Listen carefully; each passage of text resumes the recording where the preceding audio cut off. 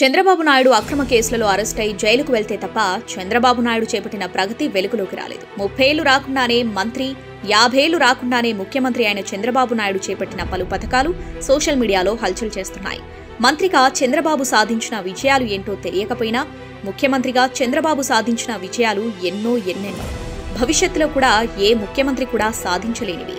దీర్ఘకాలిక అవసరాలను చూసుకుని చంద్రబాబు నాయుడు ఇళ్ళ నిర్మాణాలలో ఇంకుడు గుంతల ఆవశ్యకత వల్లే నేడు భూగర్భ జలాలు పరిరక్షింపబడుతున్నాయి. ప్రపంచంతో తెలుగోడు పోటీ పడాలని చంద్రబాబు కట్టిన హైటెక్ సిటీ సైబరాబాద్ వల్ల లక్షలాది మంది సాఫ్ట్వేర్ ఇంజనీర్లుగా ఆరంకెల జీతం పొందుతున్నారు. తెలుగింటి ఆడపడుచు తలెత్తుకు బ్రతకాలని చంద్రబాబు నాయుడు ప్రవేశపెట్టిన డ్వాక్రా సంఘాలు స్థానిక సంస్థలలో మహిళలకు ముప్పై మూడు శాతం రిజర్వేషన్లు మహిళా శక్తిని బహిర్గతం చేస్తున్నాయి. ప్రపంచ స్థాయిలో ఒక రాజధాని ఉండాలని ఉమ్మడి రాష్ట్రంలో హైదరాబాద్ కేంద్రంగా రాజీవ్ గాంధీ అంతర్జాతీయ విమానాశ్రయం దేశంలో పేరొందింది.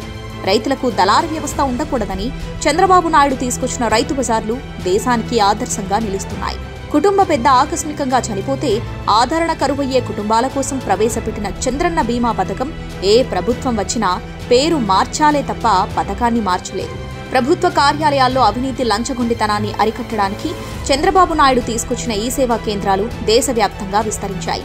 రాజధాని లేని రాష్ట్రానికి రాజధాని నిర్మాణానికి ఒక్క రూపాయి వ్యయం లేకుండా వేలాది ఎకరాలను సేకరించి నిర్మించిన అమరావతి రాజధాని నగరం నిర్మాణంలో మీ చిత్తశుద్ధిని ఎవరూ శంకించలేరు.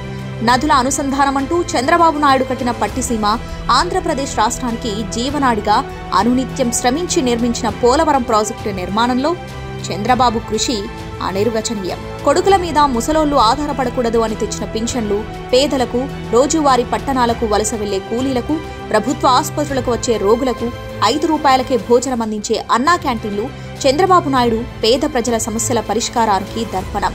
వీటిలో ఏ ఒక్కటి కూడా ప్రభుత్వం మారితే ఆపేసేవి ఆగిపోయేవి కాదు కేవలం చంద్రబాబు మదిలో మెలిగిన ఆలోచనలు. కానీ Aarogyasri fee reimbursement one not eight వంటి మూడంటే మూడు పథకాలతో వైఎస్ రాజశేఖర్ రెడ్డి మహానేత అయితే రాష్ట్ర భవిష్యత్తు పేదల భవిష్యత్తు మహిళల భవిష్యత్తు నిరుద్యోగుల భవిష్యత్తు కొరకు ఇన్ని పథకాలను ప్రవేశపెట్టిన చంద్రబాబును మహానేత అనాలా జననేత అనాలా? చంద్రబాబు నాయుడు భవిష్యత్తు తరాల కోసం చేసిన పనులను మర్చిపోయి మాస్ లీడర్ కాదని చంద్రబాబును వదిలేసిన తర్వాత అవస్థలు పడుతున్న తెలుగోడిని చూస్తే జాలి కలుగుతుంది. ఆరు పదుల వయసులో రోజుకి పద్దెనిమిది గంటలు కష్టపడాలి అని భవిష్యత్తు తరాలకు దారి చూపించిన మార్గదర్శి చంద్రబాబు నాయుడు.